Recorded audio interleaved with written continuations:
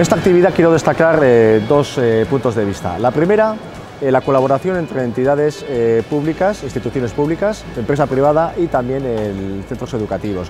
Aquí estamos representados el Departamento de Medio Ambiente de la Diputación Foral de Guipúzcoa, Ayuntamiento San Sebastián, Garbera como entidad que engloba todos los comercios que tenemos en, este centro y AEG y Castechea que al final van a ser los beneficiarios de los tejidos que salgan de aquí.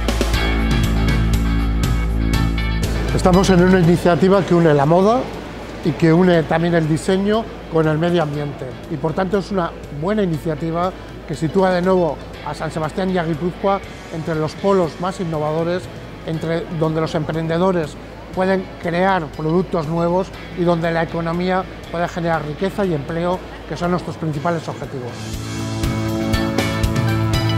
Estamos hoy aquí en Garbera porque comienza el evento Upcycling, encantados de colaborar con la Diputación, con el Ayuntamiento de San Sebastián.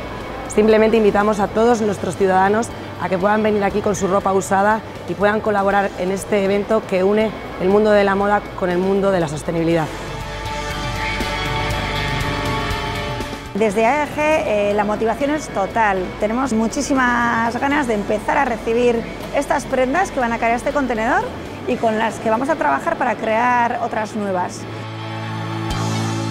Y en segundo lugar, la propia actividad. La propia actividad que consiste en recuperar aquellos materiales que ya no vamos a utilizar en nuestros hogares, eh, que son eh, la ropa que utilizamos eh, o no utilizamos ya habitualmente, y poder utilizarlo para obtener nuevos tejidos y podamos utilizarlo para hacer moda sostenible.